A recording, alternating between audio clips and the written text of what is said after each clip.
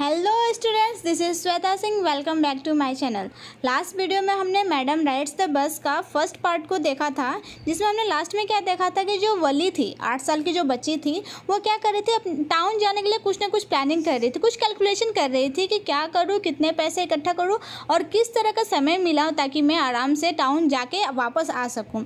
ठीक है? तो यहाँ पर हमने वो देखा था। आज हम लोग इसमें पार्ट टू को देखेंगे। पार्ट टू में क्या बताएगा उसको देखते हैं तो चलिए हम लोग स्टार्ट करते हैं। तो पार्ट टू को जैसे हम लोग देखते हैं, उसका फ़र्स्ट पैराग्राफ में क्या बताया गया है कि एक दिन आफ्टरनून में क्या होता है? एक दिन दोपहर में क्या होता है? जो बस होता है शहर जाने के लिए छोड़ता है, यानी कि स्टार्ट होता है विलेज से, और वो अपने बिल्कुल टर्निंग पॉइंट पे था, जहाँ से वो बस क्या होता है? विलेज को छोड़ के हाईवे पे चला जाता है। ओके तो वहीं पे अचानक से साउंड आता है stop the bus stop the bus यानी कि इस बस को रोकने की आवाज़ दो बार से साउंड आती है ओके और ये बहुत ही बच्चों की तरह एक आवाज़ था। तब क्या होता है, जो उसमें ये कंडक्टर रहता है, बस में जो कंडक्टर था, अपने सिर को निकालते हुए, डोर से थोड़े सिर को निकालते हुए बोलता है मतलब कि पहले बस क्या होता है, सुनते ही वो स्लो होता है बस। उसके बाद कंडक्टर क्या बोलता है कि, चलो चलो, जल्दी से चढ़ो, जल्दी से बस में चले चलो। तो फिर फाइनली जाकर बस क्या होता है, रुक जाता है। लेकिन वो क्या बोलता है, देखता है क्या चीज़, वहाँ पे कौन है? छोटी सी बच्ची है। अरे तो छोटी सी बच्ची है तो उसको पूछता है, कौन है? क्या तुमने सॉरी क्या तुमने आवाज़ लगाई है कि स्टॉप द बस बस को रोकने का आवाज़ क्या तुमने लगाया? तो बोली, वली क्या बोलती है? हाँ मैं ही हूँ जो क्या करना चाहती हूँ, इस बस में चढ़ के मैं टाउन जाना चाहती हूँ। तो फिर वो शौक होता है, क्या सच में ये जाना चाहती है? तो फिर वली अगेन बोलती है कि हाँ मैं जाना चाहती हूँ। और देखो, मेरे पास तो कॉइन्स भी है, मेरे पास तो पैसे भी है सिक्सटी पैसे जो चाहिए थर्टी पैसे एक साइड्स के तो मेरे पास तो पैसे भी हैं। चलो, मेरे पास देख लो, मेरे पास पैसे हैं, मैं इसमें जाना चाहती हूँ। तो फिर क्या बोलता है? कि ठीक है, चलो। यहाँ अगेन कंडक्टर क्या बोलता है कि ओके फाइन अगर तुम्हें जाना है तो उसके लिए तुम्हें तो बस में चढ़ना होगा। चलो, बस में चढ़ो, ठीक है? और वो क्या करता है कंडक्टर अपने हाथ को बाहर देता है ताकि उसके हेल्प लेते हुए वली क्या पकड़ पाए, बस में आराम से उठ पाए। लेकिन यहाँ पे वली क्या बोल रही है? ज़रूरत नहीं इसका। मैं खुद ही चढ़ सकती हूँ, मुझे तुम्हारी हेल्प की कोई ज़रूरत नहीं है। और वो क्या करती है, वो जैसे तैसे अपने अपने ही द्वारा, अपने से ही क्या करती है, बस में चल देती है। उसके बाद जब वो चढ़ चढ़ जाती है तो जो यहाँ पे बताया गया कंडक्टर का कैरेक्टर जो है, बहुत ही मजाकिया टाइप का है। बहुत ही मतलब मजाकिया टाइप का वो उसको बताया गया है। उसके बाद वो क्या बोलता है कि, अरे बाबा, तुम गुस्सा मत हो। अरे मैडम, उसको मैडम करके बोलता है, मैडम, आप गुस्सा मत होइए, बिल्कुल गुस्सा मत होइए। उसके बाद फिर से क्या बोलता है, यहाँ पे चलिए, कोई बात है फ्रंट में राइट साइड में आपके लिए सीट है, आप जाके वहाँ पर बैठ जाइए। और फिर से मज़ाक के टोन में क्या बोलता है, यहाँ पर जितने भी लोग हैं प्लीज़ सभी लोग क्या करें, थोड़ा सा साइड दे दीजिए, मैडम आ रही हैं। मैडम को बैठने के लिए क्या करिए, जगह दे दीजिए। ओके okay, तो इस समय क्या होता है कि जब बस में जिस दिन वो जा रहे होते उस समय बहुत ही कम लोग पैसेंजर्स उस बस में थे। कम से कम सात आठ लोग उसमें बैठे होंगे ज़्यादा लोग उसमें नहीं थे। तो वल्ली क्या करती है उसमें जाके आराम से बैठ जाती है और जैसे ही वो कंडक्टर बोलता है कि मैडम को जाने के लिए रास्ता दीजिए बैठने दीजिए तो क्या करते हैं वहाँ पर जितने भी पैसेंजर्स होते हैं और साथ में कंडक्टर वो सभी लोग हंसने लगते हैं और साथ ही साथ क्या करती है वली भी हंसने लगती है। उसके बावजूद क्या होता है पहले तो उसको थोड़ा नर्वस फील होता है थोड़ा सा शर्माती है। शाइनेस उसके अंदर होता है कि नहीं, मैं तो अकेले हूँ, चढ़ रही हूँ बस में। लेकिन फिर थोड़ी ही देर में अपनी जितनी भी झिझक थी, जितनी भी शर्माहट, घबराहट जितनी थी, उसको हटा देती है और एकदम आराम से जाकर जो सीट खाली रहता है, वहाँ पे जाके बैठ जाती है। यहाँ पे उसको ऐसा लगता है अरे, यहाँ पे सभी लोगों ने तो पैसा दिया है ना, और मैं भी साथ ही साथ, मैं भी पैसा दे रही हूँ। ऐसा तो नहीं कि मैं फ्री में जा रही हूँ, मैं भी पैसा दे रही हूँ तो मैं क्यों शर्माऊँगी? मैं भी तो आराम से जाकर सीट पर बैठ सकती हूँ। तो वो क्या होता है, जिस सीट, जो सीट उसे खाली दिखता है, वहाँ पर जाके आराम से बैठ जाती है। जब वली जाके सीट पे बैठ जाती है, तब कंडक्टर क्या उसको पूछता है? स्माइल के साथ हँसते हुए थोड़ा मुस्कुराते हुए पूछता है may we start now madam यानी कि क्या हम लोग अभी स्टार्ट कर सकते हैं मैडम बस को स्टार्ट कर सकते हैं। उसके बाद क्या करता है, जो कंडक्टर होता है, अपने सीटी को बजाता है, जो अपने सीटी लिया होता है, उसको बजाता है और बस क्या होती है, चल पड़ती है। ओके तो यहाँ पे फिर से क्या बताया गया, जो बस था वो बहुत न्यू था। मतलब नया नया वो बस था, जिसके आउटसाइड में पेंटिंग्स कुछ किया हुआ था, जिसमें कुछ ग्रीन एंड वाइट कलर से कुछ पेंटिंग्स किए होते हैं। साथ ही साथ जो अंदर था, अंदर भी कुछ बहुत सुंदर सजाया गया था। वो बस बहुत ही सुसज्जित था और क्या बताया उसमें जो अंदर सिल्वर कलर के थे। और जहाँ पे वली बैठी थी, उसके साइड में क्या देखा? उसने बहुत ही ब्यूटीफुल वाच देखा। और वो ब्यूटीफुल जो क्लॉक था सॉरी क्लॉक वो लगा हुआ था उसी बस में। और जो उसके सीट्स थे, उस बस के जितने भी सीट्स थे, बहुत ज़्यादा सॉफ्ट और लग्जरियस थे, यानी कि बहुत ज़्यादा आरामदायक था। यहाँ पे बस का वर्णन किया गया किस तरह से वो बस था। ओके देन क्या होता है वली क्या करती है? बहुत ही हर एक चीज़ को बारीकी से देखती है, अपनी आँखों से बारीकी से हर एक चीज़ को देखती है। उसके बाद क्या होता है, वो बाहर देखना चाहती है। जैसे ही वो बाहर देखने के स्टार्ट करती है तो क्या देखते हैं? वो तो जाके खिड़की के साइड में बैठती है विंडो सीट पे बैठती है। जब वो बाहर देखती है तो विंडो चूँकि मुझे, हमें पता ही है कि वो छोटी सी बच्ची है सीट पे जब बैठते तो बाहर देखने में वो पूरी तरह से सक्षम नहीं हो पाती है। क्या होता है कि उसको आधा ही दिखता है और विंडो के जो विंडो होता है विंडो से उसे नीचे के पार्ट से वो ढक जाता है, बाहर की सीनरी वो अच्छे से देख नहीं पाती है। जब बली बाहर देखती है तो उसको तो बाहर से दिख नहीं पाता है, तब क्या करते वो अपने ही सीट पे क्या हो जाती है, वो खड़ी हो जाती है, ताकि वो बाहर का अच्छे से देख पाए। ओके एंड देन नेक्स्ट में क्या बताया गया है कि जब वो बस चलते चलते क्या होता है, एक नहर को पार करता है, एक नहर आता है और नहर को पार करता है। और वो जो रोड है, बहुत ज़्यादा नैरो है। रोड बहुत ही ज़्यादा पतला दिखाया गया कि पतला सा रोड है, वहीं से क्या होता है, कार बस वो गुजरता है। तो और एक चीज़ क्या बताया गया वन साइड तो कैनल है कैनल मीन्स नहर होता है, एक साइड नहर है और उसके दूसरे साइड में कई सारे पेड़ है। कई सारे पेड़, उसके बाद ग्रासलैंड है, घास का मैदान है और माउंटेन्स दिख रहे हैं ब्लू ब्लू स्काई दिख रहा है, हर तरफ़ जब ऊपर देख रही है तो क्या उसको दिख रहा है ब्लू स्काई दिख रहा है ओके और अब उसके बाद जब फ़ील्ड को देखती है तो हर तरफ़ उसके ग्रीन ही ग्रीन, हर तरफ़ से क्या दिख रहा है? ग्रीनरी ही ग्रीनरी। जहाँ तक उसकी नज़र जाती है, हर तरफ़ उसको क्या दिख रहा है? ग्रीन ग्रीन दिख रहा है। उसके बाद क्या बोलती है वो चीज़? मतलब वो देखती है, उसको बहुत ज़्यादा सुंदर लगता है। उसको ब्यूटीफुल लगता है हर एक चीज़। लेकिन सडनली उसको एक साउंड सुनाई देता है।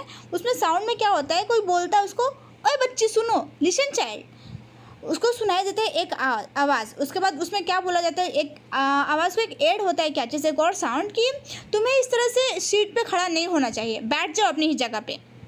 उसको कोई पीछे से टोकता है। तब वली क्या करते हैं? पहले तो बैठ जाती है। उसके बाद देखते हैं कि उसको कौन बोला है? या किसने बोला इस बात को? तब उसने क्या पाया कि एक ओल्ड मैन थे, एक बुज़ुर्ग व्यक्ति थे, जो कि वहाँ पे उस बस में एक्चुअली में उसके लिए कंसर्न थे, उसके लिए चिंतित थे। अरे छोटी सी बच्ची है और अकेले ही ट्रैवलिंग कर रही है तो वो एक्चुअली में उसके लिए कहते हैं कंसर्न थे और वो ही क्या बोलते हैं, बेटा, तुम ऐसे खड़े मत हो जाओ चुपचाप क्या करो, सीट पे बैठ जाओ लेकिन वली क्या करते हैं, उनको इतना अटेंशन नहीं देती है, उनको इग्नोर करते हुए आराम से उस टाइम पे वो तो बैठ जाती है। वली क्या करती है, बैठ तो जाती है, लेकिन उसके बाद वो बोलती है क्या चीज़ कि यहाँ पे कोई बच्चा नहीं है। There is nobody here who is the child यानी कि उसको पहले क्या बोलते हैं, वो व्यक्ति जो थे बुज़ुर्ग व्यक्ति जो थे, वो क्या बोलते हैं, बच्चे बैठ जाओ। एक छोटे से बच्चे की तरह वो ट्रीट करते हैं, लेकिन यहाँ पे वो क्या बोलती है? यहाँ पे कोई भी बच्चा नहीं है। मैं यहाँ बच्ची नहीं हूँ, एकदम अकड़ के बोलती है, मैं बच्ची नहीं हूँ। मैंने भी क्या किया थर्टी पैसे पेड किया है। जिस तरह से हर एक व्यक्ति ने पैसे दिए हैं, यहाँ पर थर्टी पैसे भाड़ा दिया है फेयर दिया है, उसी तरह से मैंने भी क्या किया है फेयर दिया थर्टी पैसे मैंने भी दिए हैं। और उस बात उसके बातों को सहमति जताते हुए, मज़ाक की तरफ़ से सहमति जताते हुए क्या करता है कंडक्टर बोलते हैं हाँ हाँ सर, इन्होंने दिया है, पैसे दिए हैं। और आपको पता है, अगर कोई ये नॉर्मल से अगर बच्ची रहती तो क्या वो अपने पैसे दे पाती? लेकिन ये तो मैडम बहुत बड़ी हैं। बड़ी है ये मैडम, और इन्होंने क्या किया है? अपने भाड़ा दिया है। अगर कोई छोटा सा बच्चा होता, वो अकेले थोड़ी जाता सिटी में, और अकेले थोड़ी ही ट्रैवल करता बस में। ये कोई छोटी सी बच्ची नहीं है। तब क्या होता है, इस बात को सुनने के बाद वली गुस्से में बोलती है कि, मैं कोई मैडम नहीं हूँ। और तुम्हें याद है, अभी तक तुमने मुझे मेरा टिकट नहीं दिया। वो चिड़ के बोलती है, तुमने अभी तक मुझे टिकट नहीं दिया। तब क्या होता है, जो कंडक्टर होता है, उसी के साउंड में, जिस साउंड से, जिस टोन में वो वली बोलती है, उसी टोन में उसकी मिमिक्री करते हुए, यानी कि उसको नकल उतारते हुए, वो बोलता है क्या चीज़? कंडक्टर कि हाँ मुझे याद है, मुझे तुम्हें क्या करना है टिकट देना है। जैसे वो उसके साउंड को मिमिक्री करता है, उसको साउंड को कॉपी करता है, तब क्या होता है, सभी लोग वहाँ पर हंसने लगते हैं। साथ ही साथ वली भी क्या करने लगती है, उनके हँसी के साथ ज्वाइन कर लेते हैं और वो भी क्या करने लगते हैं, हँसी हंसने लगती है। देन कंडक्टर क्या करता है, उसको टिकट देता है और उसके बाद उसको बोलता है कि, अरे, तुम आराम से बैठ जाओ, एकदम कंफर्टेबली बैठ जाओ। अगर तुमने पैसे दिए हैं, तुम फुल भाड़ा दे रहे हो फुल फेयर दे रहे हो, तुम खड़ी होकर क्यों जाओगी? तुम आराम से अपने सीट पर बैठ बैठ जाओ। तो फिर वली क्या बोलती है रिप्लाई करती है उसको कि हाँ मैंने तो पैसा दिया है, लेकिन मैं जब बैठ रही हूँ तो मुझे बाहर को कुछ भी दिख नहीं पा रहा है, इसलिए मैं क्या हूँ, खड़ी हो जाती हूँ और खड़ी होकर देखती हूँ। उसके बाद वो फिर से क्या हो जाती है अगेन स्टैंड अप हो जाती है। तब कंडक्टर अगेन क्या बोलता है कि अगर तुम इस तरह से खड़ी रहती हो अपनी सीट पे, तब क्या होगा, जब बस स्पीड होगा या फिर कहीं टर्निंग टर्न लेता है, तब क्या हो जाएगा, तुमको चोट लग सकती है और तुमको, तुम घायल हो सकती हो। इसलिए तुम क्या करो, वहाँ पे बैठ जाओ। इसलिए हम लोग तुमको बोल रहे हैं, बेटा, कि तुम क्या हो जाओ, आराम से बैठ जाओ।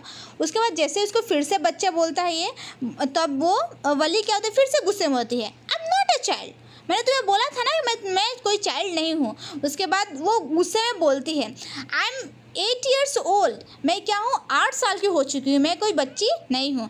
तब फिर से कंडक्टर क्या बोलता है ओ हाँ हाँ हाँ ऑफकोर्स हाउ स्टूपिड मी मैं कितना बुद्धू हूँ ना? मुझे तो पता ही है, आप तो बहुत मैच्योर हो। आप तो मैडम हो ना, आप तो थोड़ी बच्ची हो। उसके बाद क्या बोलता है वो फिर से बस रुकता है आगे चल के, बस रुकता है और कई सारे न्यू पैसेंजर्स उसमें बैठते हैं। और वो कंडक्टर क्या होता है, उनको टिकट वगैरह देने में फिर से बिज़ी हो जाता है। लेकिन जैसे ही वली देखते है कई सारे दूसरे पैसेंजर्स उसमें चढ़ रहे हैं, तब वो अपने सीट को खोने के डर से क्या होती है, जाके अपने सीट पर फटाफट से जाके बैठ जाती है। अगेन क्या होता है, जैसे ही वो बस चलता है तो वहाँ पे उसके सीट के पास, वली के सीट के पास एक ओल्ड वोमेन आती है उसके साथ साथ में मतलब उसके पास में क्या होती है, वो बैठ जाती है। उसके बाद जैसे वो बैठती है, बैठने के साथ ही साथ उसका एक क्वेश्चन होता है, वली से क्या बोलती है वो, बेटा क्या तुम अकेले हो? आप अकेले जा रहे हो? तो वो गुस्से में बोलती है मतलब वो चिढ़ जाती है, वो बहुत ज़्यादा मतलब इस तरह उसको देखती बिल्कुल उसको पसंद नहीं करती है। और वो क्या बोलती है, जब उसको नापसंद करते हुए उसको देखती है क्या जिसको उसके कानों में, जो वहाँ पर वोमेन थी, उसके कानों में बहुत ही बड़ा होल देखती है। होल देखने के साथ साथ उसमें क्या होता है, बहुत ज़्यादा अगली सा ईयरिंग लगाए हुए रहती है वो वोमेन और क्या बताया गया कि वो जो सुपारी खा रही थी बेटल नट यानी कि सुपारी खा रही थी वो लेडी उसके बहुत ज़्यादा मतलब सेंट उसको बर्दाश्त नहीं उसका स्मेल बिल्कुल उसे बर्दाश्त नहीं हो रहा था बली को। और ऐसा लग रहा था जो उसका जूस था। जब सुपारी खा रही थी तो ऐसा लग रहा था उसका जूस जब न तब उसके लिप्स से होते हुए कहीं पर भी गिर सकता है। और वली को ये सारी चीज़ बहुत ज़्यादा गंदा लग रहा था, वो बहुत ज़्यादा चिढ़ रही थी। और खुद ही मन में क्या बोल रहे थे, अरे यार, ऐसे लोगों के साथ कौन सोशियबल हो सकता है? ऐसे लोगों के साथ कौन मिल सकता है? कौन ऐसे लोगों से बात कर सकता है? इन सारी बातों को सोच के वली अब उसके क्वेश्चन का आंसर देती है, जो उस लेडी ने पूछा था। तो क्या बोलती है वली? हाँ मैं अकेले ट्रैवल कर रही हूँ। बहुत ही रूडली वो क्या करती है, उसको रिप्लाई करती है। और क्या बोलती है कि हाँ मैं अकेले जा ही रही हूँ, मेरे पास टिकट भी है। तब उसी बीच में कंडक्टर क्या बोलता है? हाँ इन्होंने तो टिकट लिया हुआ है और ये अकेले टाउन जा रही हैं। तब वो वो भी कितने? थर्टी पैसे के साथ उन्होंने टिकट लिया है।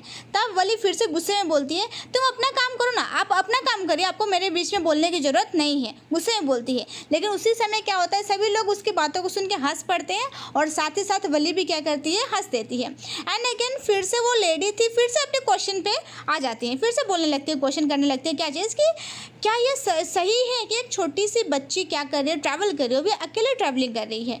फिर वो उसको क्वेश्चन करती है कि क्या तुमको पता है एग्जैक्टली तुम कहाँ पे जा रही हो? जिस टाउन में तुम जा रहे हो, तुम कहाँ पे जा रहे हो? कौन से स्ट्रीट में जा रहे हो? यानी कि जो तुम रास्ते जा रहे हो, क्या तुमको पता है कौन सा रास्ता है? किस घर पे जा रहे हो? घर का नंबर तुम्हें पता है? हाउस नंबर तुम्हें पता है? तब वली क्या बोलती है? फिर से बोलती है कि आपको मेरा टेंशन करने का ज़रूरत नहीं है। मैं अपना केयर खुद कर सकती हूँ। और क्या करती है वली? मतलब ये सारी बातों को बोल के अपने फेस को टर्न कर लेती है और विंडो की तरफ़ देखने लगती है। मतलब उनको पूरी तरह से क्या करती है? इग्नोर करके साइड में बाहर की तरफ़ वो देखने लगती है। ओके तो आज ये सेकेंड पार्ट में हमने इतना ही देखा। बाकी का जो नेक्स्ट पार्ट हम लोग नेक्स्ट वीडियो में देखेंगे।